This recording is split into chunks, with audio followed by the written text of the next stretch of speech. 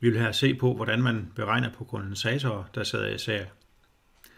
Vi har her et kredsløb, der er forsynet af 12 volt, og så har vi tre kondensatorer, der sidder i serie.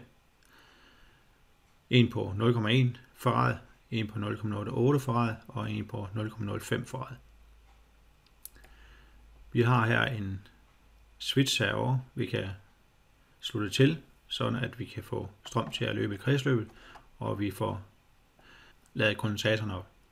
Ligeledes så er mulighed for, at vi kan kortslutte den enkelte kondensator, og dermed tage ladninger igen. Vi har to grundlæggende formler for kondensatorer.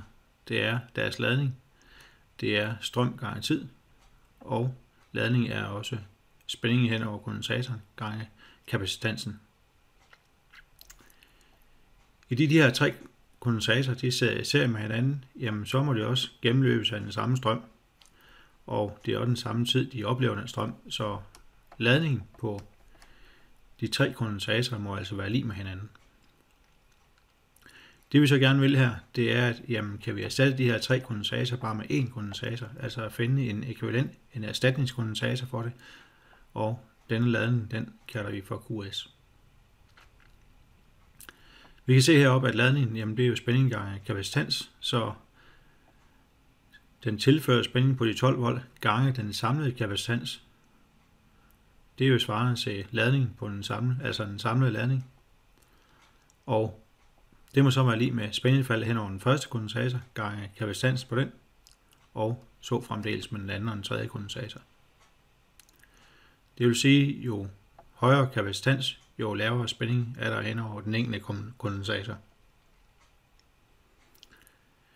Vi ved også fra seriekredsløb, at jamen, den tilførte spænding, det er lige med spændingsfaldet hen over de enkelte komponenter. Og spændingen, det må jo så være ladning divideret med kapacitans. Så vi kan altså sige, at jamen, ladningen divideret med den samlede kapacitans er lige med ladning divideret med kapacitansen for den første.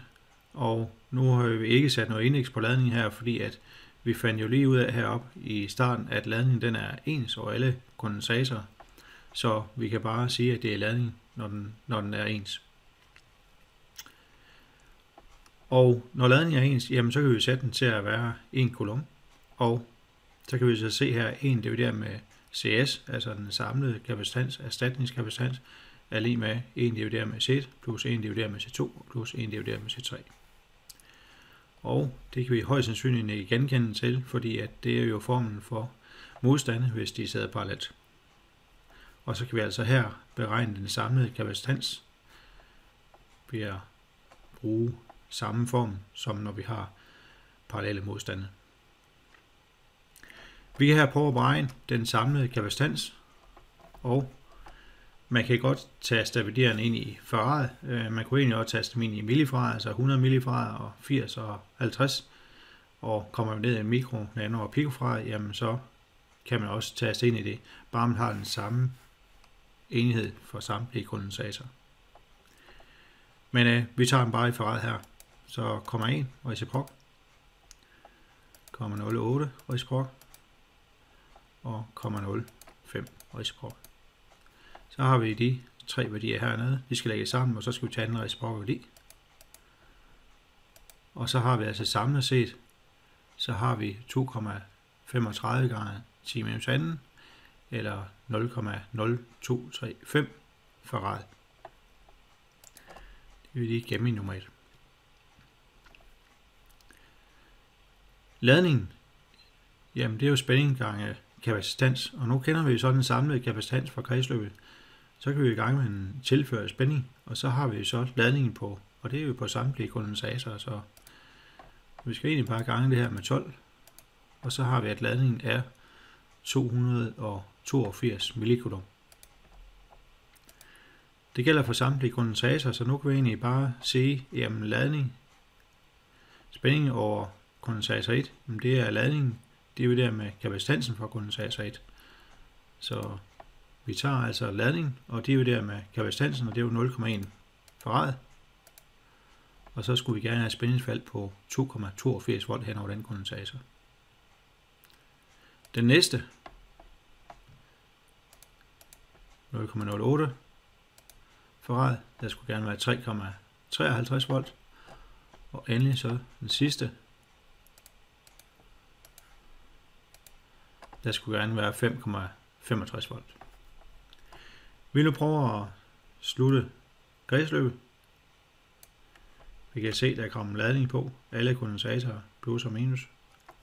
Og nu kan vi så prøve at måle spændingerne. Den første 2,824 2,824 helt præcist. Den næste 3,529 3,529 ja. Og må ikke den sidste også være? 5,437 5,437 helt præcis.